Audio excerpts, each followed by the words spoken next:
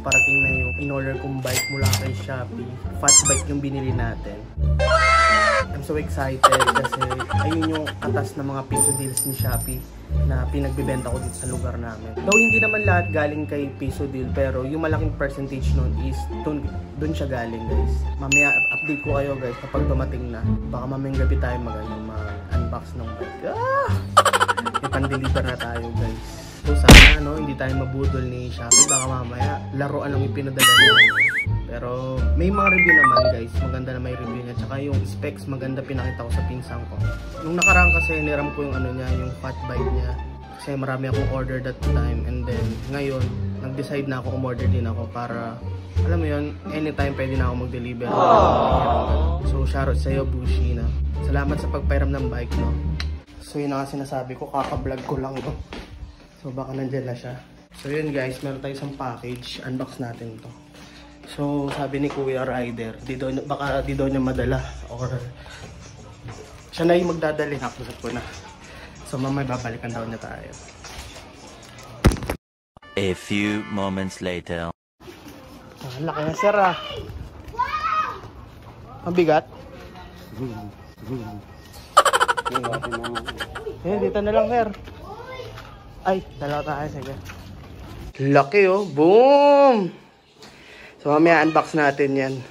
So yun na nga guys. Excited na akong buksan yung bike ko. Wait lang.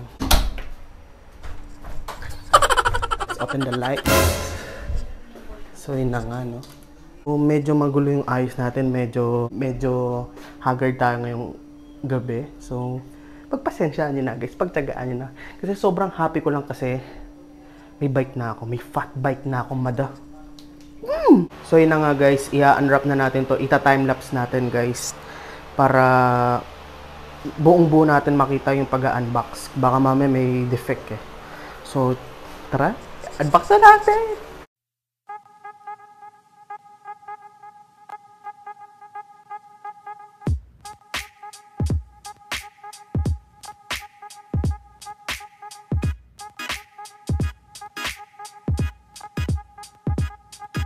So yun guys, medyo ang hirap niyang i-unwrap or i-unbox. So hanap tayong katulong, hanap pat patulong tayo kay Gio. Papatulong tayo kay Gio.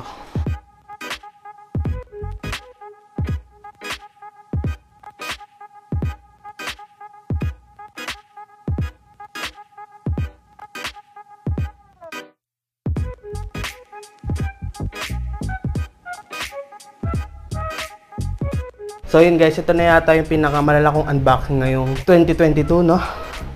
Medyo pina medyo pinagod ako nito. Nakakaloka. So, woo, sarap sa mata, nakakatuwa. Yung pinaghirapan mong mga piso deals, binenta mo mga gamit, no? Nagbunga. So, so black red yung binili ko. Hindi yan BBM ah. Death Row yan. Death Row, baby! I-set up ko muna siya, guys. Di ko alam kung paano. So, bang patulong talaga tayo, guys. So, yun, guys. Ito na nga. Ito na itsura ng fat bike natin, no? So, nagpapatulong tayo kay Dio. Dio, tingin ka naman. Shoutout sa'yo, boy. So, yan. Hustler tong si Dio, guys. Ayan, no? Si Dio. Pogi yan, guys. Shoutout, Miggy. Ang gagi mo. Makuntog ka pa dyan. So, wala tayong alam sa bike talaga totally, guys. Eh. Kaya paturo tayo. Tayong mamaru. Ano tawag dyan? Sa, Sa ginagawa mo? kakalasin natin yung book para makabit yung handlebar. Kita niyan, guys. Hindi ko nga alam yung... Basta bumili lang ako, eh, pan-deliver. Ayoko kasi ng ano eh.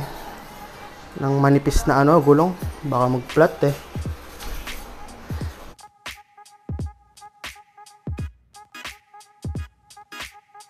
So, yun na nga. What's up, guys? Naiya tuloy ako. So, nakabit na natin yung ano, front, ano niya, front wheel. So, kung wala si Gio talaga, guys, hindi ko magagawa mag-isa yan. So, yun guys, almost done na kami dito sa bike ko. So, ang kinakabit na lang yung pedal. Ay, hindi, tapos na actually. Ang problema, wala kami pambomba. So, bukas na, kami manghihiram ni Gio. So, ayan, ayan siya. Mukhang okay naman siya, no, boy? Okay siya, goods. Goods na goods. So, ayan siya, guys. So, ayun guys, tapos na tayo mag-install ng mga parts dito sa bike natin. So, may tumatawag. Thanks to Gio, guys. Ano yan? Okay yung ano niyan, yung ano. Paano yung ano nito, yung brake? Asan yung brake nito? Ah. Ah, dito na siya magbe-brake dito, dito sa mismong disc. Dati kasi alam ko dito eh. Dito sa ano, Ah, sa rim. Rim. magka, magkakaiba kasi yun eh. Ah, di kasi sa bike eh. Si Gio guys, marunong sa bike to.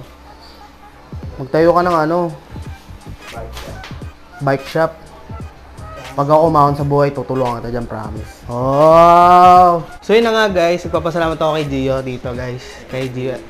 Next time magbablog din to about sa mga bike. Bike ba? Di ko pa sure pero di pa natin alam no. Pero check natin yan guys. So, eto na guys, yung product natin. Pero hindi pa to tapos. Wala pang hangin to guys eh. Boy, salamat ah. Sige, sige, bukas na lang. So yun na nga guys, medyo nabitin tayo sa pag install ng ating fat bike. So ngayon kasi wala naman akong alam sa fat bike or wala naman akong alam dito. Pero ah, ang kulang na lang nito yung dalawang hangin dito sa gulong. So manghihiram tayo bukas ng pambomba. So hindi natin siya matitest drive baka bukas na lang. So pahinga na, na, pahinga na lang din tayo. So, special shoutout din nga pala kay Gio. Maraming salamat, brother. Wala akong masabi. Kasi di ko, di ko kayang buuin mag-isa to, promise. So, ngayon, maraming salamat. Sana ano, makapag-rides tayo. Wow!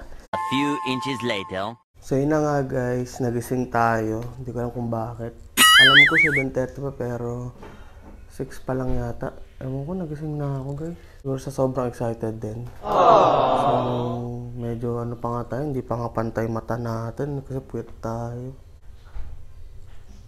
So, yun na nga. So, yun na nga. So, yun na nga guys, nakanap na tayo ng pambomba para sa ating bike. So, bobomba na natin siya guys.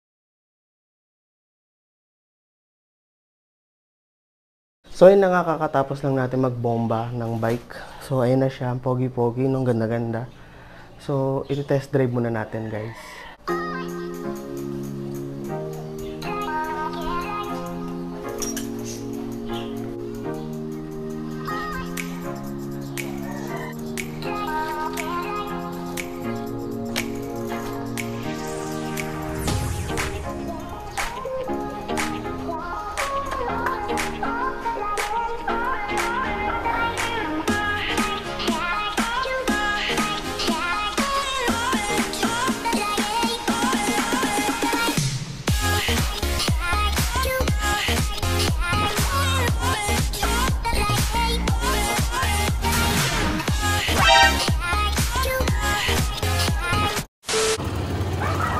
So yun guys, nagpapa-test drive tayo sa pinsan natin.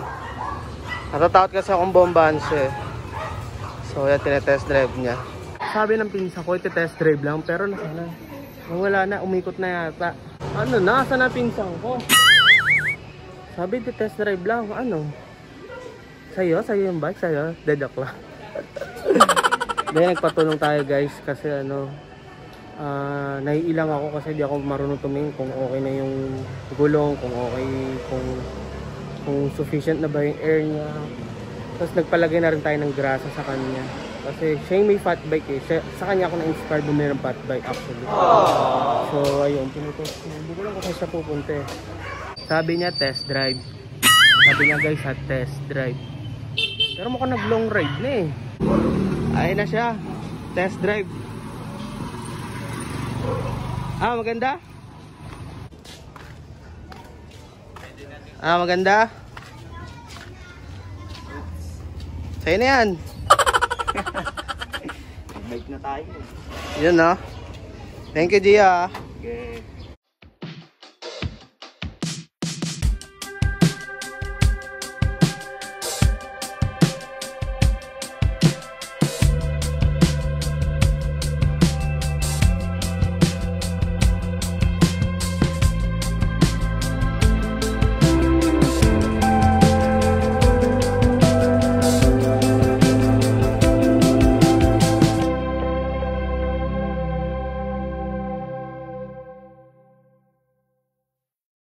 So yun na nga guys, to wrap up this vlog, I just want to say thank you sa lahat ng mga nakatulong sa akin dito sa pagbuo ng bike. Particularly kay Gio, brother. Babawi ako sa'yo, brother. And then uh, kay Earl, kay Earl dito kasi ako na-inspired ah, bumili ng bike kasi mal- malaki siya and then bagay siya sa mga ano eh, mga overweight na mga pips para alam mo hindi ka magmukhang ah, flat pagdating sa likod ng iyong bike. So, ayun. So, kasama ko yung pamangkin ko ngayon, magte-test drive kami. Aangkas ko siya dito sa aking fat bike. So, let's see kung saan tayo aabot, guys. So, ito na yung fat bike na nabili natin kay Shopee. So, worth it yung price niya, guys. Working siya. Actually, wala siyang problema. So, all good siya, promise. Maganda. So, shoutout sa'yo, Ate Marian. Bumili nga na neto. Super sulit. So, tara. Test drive natin.